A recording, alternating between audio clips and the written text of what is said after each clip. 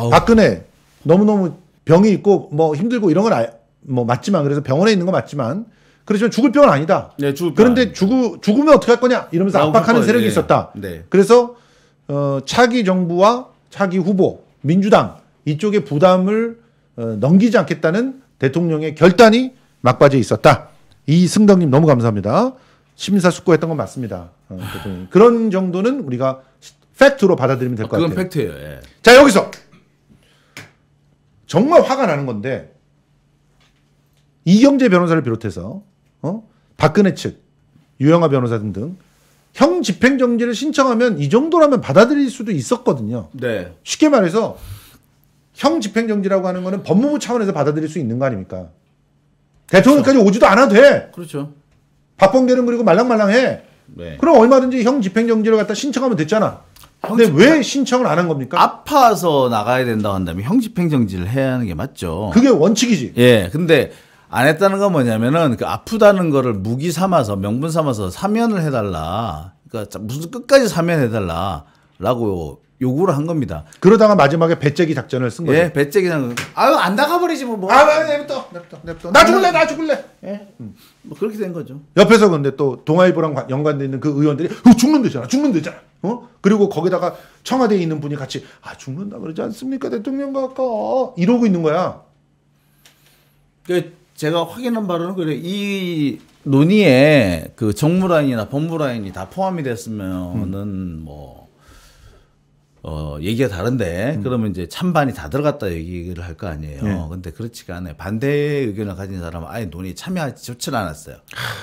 그러니까 뭐냐면은 이 반대 의견하는 사람 배제된 상태에서 찬성하는 사람들만 모아가지고 의견을 모아서 마치 찬성이 대사의 대다수인 것처럼 가지고 대통령한테 갖고 그러니까 대통령은 어 계속 혼자서 사실 아 안 돼 그래도 안 돼라고 하다가 막판까지 막 계속 반복해서 해야 된다라고 강조를 하니까 결국에는 넘어간 겁니다. 이게 열번 찍어 안 넘어가는 나무 없다고. 예. 뭐열 번, 백 번 계속 찍겠다고 나오는데 뭐 그렇게 되는 거죠.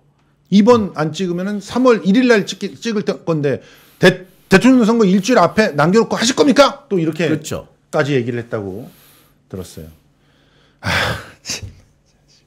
우리는 지난 시대의 아픔을 딛고 새 시대로 나가야 합니다. 이제 과거에 매몰돼 서로 다투기보다는 미래를 향해 담대하게 힘을 합쳐야 할 때입니다.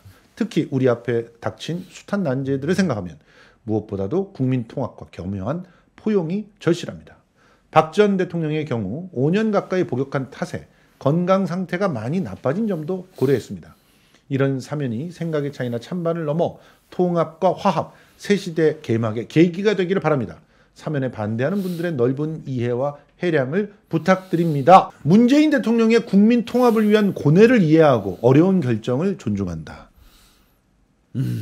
지금이라도 국정농단 피해자인 국민들께 박근혜 전 대통령의 진심 어린 사죄가 필요하다. 요게 굉장히 중요하죠. 그렇죠. 예, 두 번째 문장의 핵심입니다. 그리고 현실의 법정은 닫혀도 역사의 법정은 계속됨을 기억하시기 바랍니다. 저는 이 정도면은 어, 일단 입장문에서는 뭐 할, 뭐, 할 얘기는 다한 거죠. 가- 가- 오케이. 간단하게 얘기한 거고요. 이게 굉장히 무서운 말입니다. 근데 이게 이재명 후보 입장에서는 이 정도밖에 얘기하기가 어려워요. 잘 알지도 못했고. 예, 그런데 지금 상태에서는 왜 했는지 대충 감은 잡히고 음, 어, 비난할 수만은 없는 부분이고 예. 하지만은 어, 아닌 거는 또 아니니 이런 얘기를 하는 것이 뭐 가장 적절한 수준이 아니었는가. 여기서 국정농단 피해자인 국민들께 진심 어린 사죄를 해라 라고 촉구한 거. 이 부분은 결과적으로는 어?